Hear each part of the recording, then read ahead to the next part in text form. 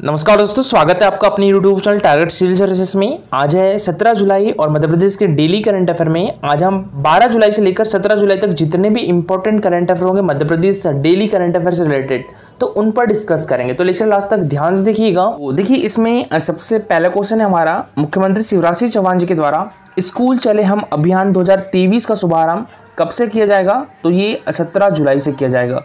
तो इसका आंसर हो जाएगा ऑप्शन नंबर सी ठीक है? और स्कूल चले हम अभियान 2023 का शुभारंभ कहाँ से किया जाएगा? तो ये शाजापुर डिस्ट्रिक्ट से किया जाएगा। कब किया जाएगा? 17 जुलाई को किया जाएगा। और इसका शुभारंभ किसके द्वारा किया जाएगा? तो हमारे मध्य प्रदेश के मुख्यमंत्री शिवराज सिंह चौहान जी के द्वारा किया जाएगा। तो देखिए, मुख्यमंत्री शिवराज सिंह चौहान जी 17 जुलाई को स्कूल चले हम अभियान 2023 का शुभारंभ करेंगे। और राज्य स्तरीय कार्यक्रम शाजापुर ज़िले के गुलाना में नवनिर्मित सीएम राइज विद्यालय में आयोजित होगा। मुख्यमंत्री श्री शिवराज सिंह चौहान जी गुलाना में 42 करोड़ रुपए की लागत से बनकर तैयार हुए। हमारे मध्य प्रदेश के पहले सीएम राइज स्कूल भवन का लोकार्पण भी करेंगे और स्कूल चले हम अभियान को जन आंदोलन में बदलने के लिए। 17 से 19 जुलाई तक हमारे मध्य प्रदेश की समस्त शासकीय शालाओं में जन समुदाय की सहभागिता में भविष्य से भेंट कार्यक्रम भी होंगे। क्वेश्चन हमारा, हाल ही में किस अभ्यारण में स्थित खातियार गिर को रामसर साइट घोषित करने का प्रस्ताव भेजा जाएगा? तो जो खातियार गिर है, ये किस अभ्यारण में स्थित है? चंबल अभ्यारण में। तो इसका आंसर हो जाएगा ऑप्शन नंबर बी, ठीक है? चंबल अभ्यारण। देखिए, बात करें रामसर साइट की तो हमारे मध्य प्रदेश में कितनी रामसर साइट है? चार रामसर साइट है, ठीक है? कौन कौन सी एक तो भोज वेटलैंड। भोज वेटलैंड कहाँ पर है? तो ये भोपाल में है। एक है यशवंत सागर और सिरपुर तालाब, ठीक है? यशवंत सागर और सिरपुर तालाब कहाँ पर है? तो ये इंदौर में है। और एक है साख्य सागर झील। साख्य सागर झील कहाँ पर है? तो ये शिवपुरी डिस्ट्रिक्ट में है। शिवपुरी डिस्ट्रिक्ट में माधव नेशनल पार्क में है साख्य सागर झील, ठीक है? तो अभी हमारे मध्य प्रदेश में कितनी रामसर साइट है? चार रामसर साइट है। दो इंदौर में है, एक भोपाल में है और एक शिवपुरी डिस्ट्रिक्ट में है। और अभी हाल ही में खातियार गिर, जो कि चंबल अभ्यारण्य है, इसको भी रामसर साइट घोषित करने के लिए प्रस्ताव भेजा जाएगा। बात करें चंबल अभ्यारण्य की तो चंबल अभ्यारण्य हमारे मध्य प्रदेश के किस डिस्ट्रिक्ट में है? मुरैना डिस्ट्रिक्ट में है। और इसकी स्थापना कब की गई थी? तो ये 1978 में की गई थी। ठीक है? और हमारे मध्य प्रदेश का सबसे बड़ा अभ्यारण कौन सा है? तो हमारे मध्य प्रदेश का सबसे बड़ा अभ्यारण नौरादेही अभ्यारण है, ठीक है? नौरादेही अभ्यारण कहाँ पर है? तो ये सागर डिस्ट्रिक्ट में है और इसकी स्थापना कब की गई थी? तो इसकी स्थापना 1975 में की गई थी, ठीक है? हमारे मध्य प्रदेश का सबसे बड़ा अभ्यारण कौन सा है? नौरादेही अभ्यारण है। इसकी स्थापना 1975 में की गई थी और हमारे मध्य प्रदेश का सबसे छोटा अभ्यारण कौन सा है? तो रालामंडल अभ्यारण है, ठीक है? हमारे मध्य प्रदेश का सबसे छोटा अभ्यारण रालामंडल अभ्यारण है और रालामंडल अभ्यारण कहाँ पर है? तो ये इंदौर डिस्ट्रिक्ट में है और इसकी स्थापना कब की गई थी? ये नाइनटीन में की गई थी, ठीक है? तो रालामंडल अभ्यारण कहाँ पर है? ये इंदौर डिस्ट्रिक्ट में इसकी स्थापना 1989 में की गई थी और ये मध्य प्रदेश का सबसे छोटा अभ्यारण है। और रातापानी अभ्यारण की बात करें तो रातापानी अभ्यारण हमारे मध्य प्रदेश के किस डिस्ट्रिक्ट में है? रायसेन डिस्ट्रिक्ट में है, ठीक है? और देखिए, यह पहला अभ्यारण है जो कि टाइगर प्रोजेक्ट के लिए प्रस्तावित है। ठीक है, अभी टाइगर प्रोजेक्ट है नहीं अभ्यारण टाइगर प्रोजेक्ट के लिए प्रस्तावित है। हमारे मध्य प्रदेश में अभी कितने टाइगर प्रोजेक्ट हैं? छह टाइगर प्रोजेक्ट है। ठीक है कौन कौन से छह टाइगर प्रोजेक्ट हैं? तो कान्हा राष्ट्रीय उद्यान, जो कि हमारे मध्य प्रदेश का सबसे बड़ा राष्ट्रीय उद्यान है, पेंच राष्ट्रीय उद्यान, बांधवगढ़ राष्ट्रीय उद्यान, पन्ना राष्ट्रीय उद्यान, सतपुड़ा राष्ट्रीय उद्यान और संजय डुबरी राष्ट्रीय उद्यान।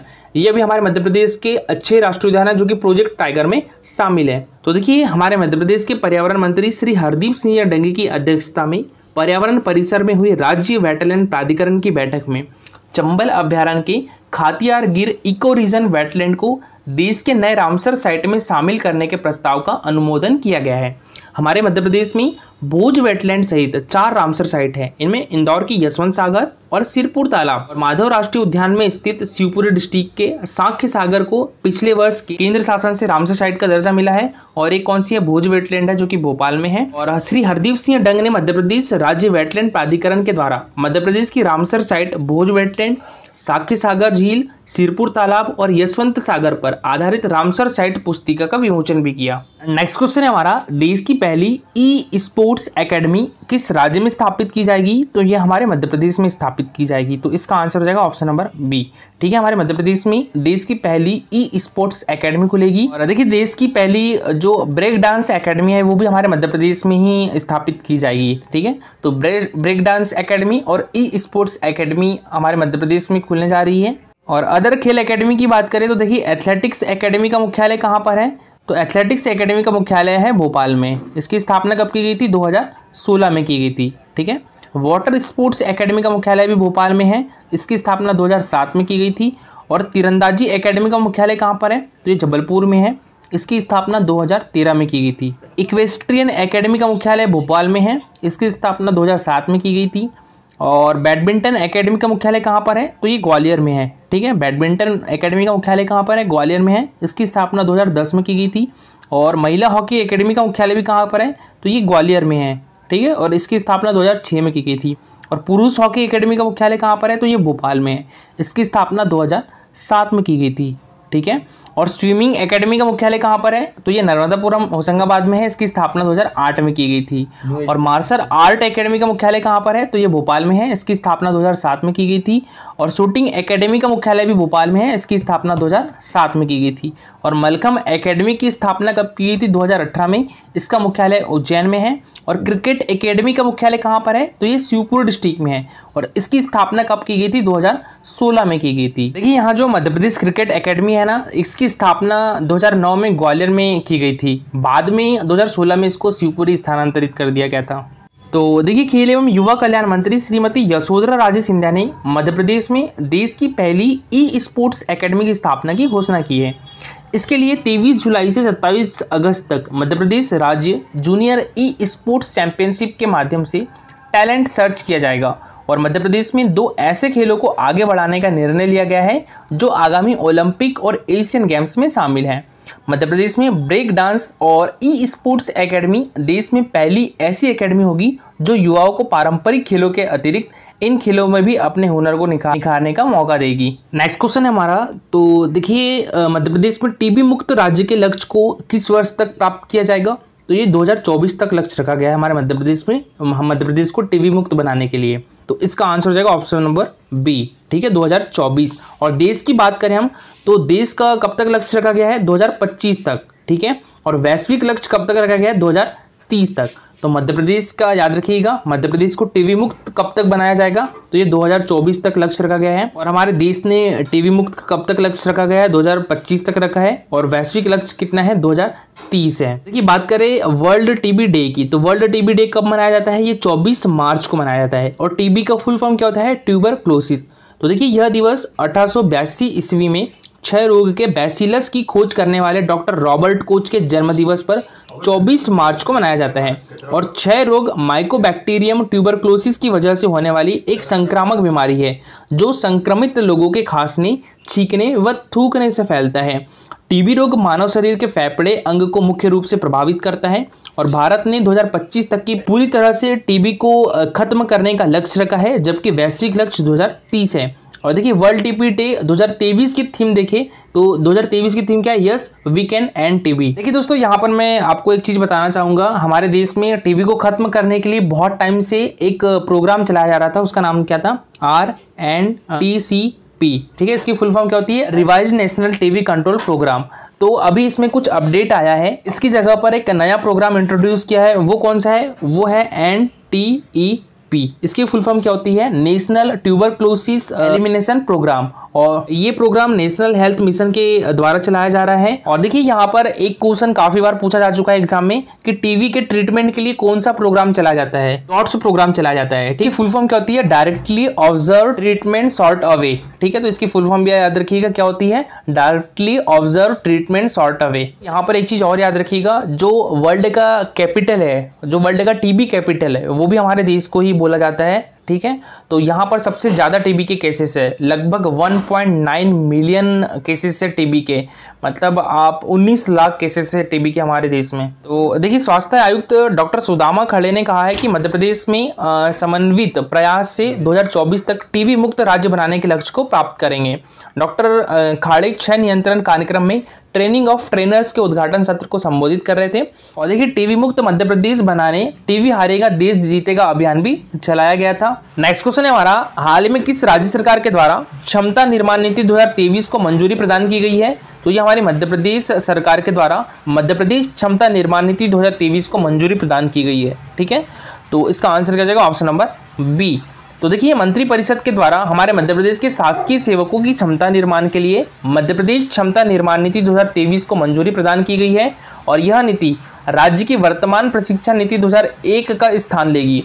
इस नीति में हमारे मध्य प्रदेश के समस्त शासकीय सेवकों, जिनमें संविदा कर्मी भी शामिल है, इनके संपूर्ण क्षमता निर्माण के लिए प्रशिक्षण और अन्य गतिविधियाँ की जाएगी, जिससे शासकीय सेवक गुणवत्तापूर्ण नागरिक सेवा प्रदान करने के लिए संवेदनशील, कर्तव्यनिष्ठ, तत्पर, ईमानदार, सन्निष्ठ हो तथा आधुनिक तकनीक कौशल से युक्त होकर कार्य कर सके। नीति के क्रियान्वयन की समीक्षा के लिए सर्वोच्च स्तर पर मुख्यमंत्री की अध्यक्षता में राज्य प्रशिक्षण परिषद गठित होगी, जिसमें मंत्रीगण और वरिष्ठ अधिकारी होंगे। नवीन नीति में राज्य के बजट में मिशन कर्मयोगी नाम से एक नवीन मद बनाया जाएगा, जिससे प्रत्येक शासकीय विभाग को उसके वेतन मद की एक प्रतिशत राशि प्रतिवर्ष उपलब्ध कराई जाएगी। नेक्स्ट क्वेश्चन हमारा। हाल ही में अटल बिहारी वाजपेयी भारतीय सूचना प्रौद्योगिकी एवं प्रबंधन संस्थान ग्वालियर, यानी ट्रिपल आईटीएम के चतुर्थ दीक्षांत समारोह का शुभारंभ किसके द्वारा किया गया? तो ये हमारे देश की राष्ट्रपति श्रीमती द्रौपदी मुर्मू ने किया है। तो इसका आंसर हो जाएगा ऑप्शन नंबर ए ठीक है? द्रौपदी मुर्मू अभी ग्वालियर के दौरे पर है। और यहाँ पर इन्होंने अटल बिहारी वाजपेयी भारतीय सूचना प्रौद्योगिकी एवं प्रबंधन संस्थान के चतुर्थ दीक्षांत समारोह का शुभारंभ किया है। नरेंद्र मोदी हमारे देश के प्राइम मिनिस्टर हैं। मंगूभाई पटेल हमारे मध्य प्रदेश के राज्यपाल हैं। शिवराज सिंह चौहान जी हमारे मध्य प्रदेश के मुख्यमंत्री हैं। तो देखिए राष्ट्रपति श्रीमती द्रौपदी मुर्मू ने अटल बिहारी वाजपेयी भारतीय सूचना प्रौद्योगिकी एवं प्रबंधन संस्थान ग्वालियर के चतुर्थ दीक्षांत समारोह का शुभारंभ किया। समारोह में राष्ट्रपति श्रीमती द्रौपदी मुर्मू ने परमाणु ऊर्जा आयोग के पूर्व चेयरमैन पद्म विभूषण डॉक्टर अनिल काकोड़कर को डॉक्टर ऑफ़ साइंस की मानद उपाधि से सम्मानित भी किया है। नेक्स्ट क्वेश्चन हमारा। देखिए हाल ही में हमारे मध्य प्रदेश के मुख्यमंत्री शिवराज सिंह चौहान ने मीना समाज के लिए जय मिनेश कल्याण बोर्ड बनाने की घोषणा की है। इसमें सदस्यों की संख्या कितनी होगी? तो इसमें सदस्यों की संख्या जो है, वो चार होगी। तो इसका आंसर हो जाएगा ऑप्शन नंबर डी ठीक है? अभी हाल ही में हमारे मध्य प्रदेश के मुख्यमंत्री शिवराज सिंह चौहान ने मीना समाज के लिए जय मिनेश कल्याण बोर्ड बनाने की घोषणा की है। इसमें सदस्यों की संख्या चार होगी, जिसमें से एक जो है, वो अध्यक्ष होगा। तो देखिए, मुख्यमंत्री शिवराज सिंह चौहान ने कहा है कि मीना समाज के लिए जय मिनीस कल्याण बोर्ड बनाया जाएगा और इस बोर्ड में अध्यक्ष सहित चार सदस्य होंगे। अध्यक्ष को मंत्री का दर्जा दिया जाएगा। और भगवान मिनेश की जयंती पर इच्छित अवकाश भी होगा। दोस्तों, कल का हमारा क्वेश्चन था, भारतीय राष्ट्रीय ध्वज को कब अपनाया गया था? तो ये 22 जुलाई 1947 को अपनाया गया था। तो इसका आंसर कर जाएगा ऑप्शन नंबर डी और दोस्तों, ये क्वेश्चन बहुत बार पूछा गया है, ठीक है? तो हमारे भारतीय राष्ट्रीय ध्वज को कब अपनाया गया था दोस्तों? बाईस जुलाई उन्नीस को अपनाया गया था। दोस्तों बाईस जुलाई उन्नीस को संविधान सभा के द्वारा राष्ट्रीय ध्वज को अपनाया गया था। और भारतीय राष्ट्रीय ध्वज की चौड़ाई और लंबाई का अनुपात दो अनुपात तीन है, ठीक है? चौड़ाई और लंबाई का अनुपात। और यह समान अनुपात में शीर्ष पर गहरे केसर, केसरी, मध्य में सफ़ेद और नीचे गहरे हरे रंग का छैतीस तिरंगा है। तो ऊपर क्या होता है दोस्तों? केसरी रंग होता है, बीच में सफ़ेद रंग होता है और नीचे हरा रंग होता है। और यह 15 अगस्त उन्नीस को भारत के प्रभुत्व का आधिकारिक ध्वज बन गया। और प्रधानमंत्री स्वतंत्रता दिवस पर लाल किले से राष्ट्रीय ध्वज फहराते हैं। पिंगली वनकैया को भारतीय राष्ट्रीय ध्वज का अभिकल्प माना जाता है। दोस्तों, आज के लिए आपका क्वेश्चन है। ये भी क्वेश्चन बहुत बार पूछा गया है, गदर आंदोलन या पार्टी का मुख्यालय कहाँ था? ठीक है, गदर पार्टी का मुख्यालय कहाँ पर है या गदर आंदोलन का मुख्यालय कहाँ पर है आपको बताना है? सान फ्रांसिस्को स्टैनफर्ड विश्वविद्यालय पोर्टलैंड या, या फ्लोरिडा। तो इसका आंसर पूरा डिटेल में दीजिएगा। और देखिए ये हमारा Telegram channel target civil services. तो इस पर डेली क्विजेस होते हैं तो इसमें आप भी पार्टिसिपेट कर सकते हो। टेलीग्राम चैनल की लिंक आपको हमारी वीडियो के डिस्क्रिप्शन बॉक्स में मिल जाएगी। लेक्चर अच्छा लगा हो तो लाइक और शेयर ज़रूर करिएगा। अगर आप इस चैनल पर नए हो तो सब्सक्राइब भी कर लीजिए। Thank you so much for watching this video.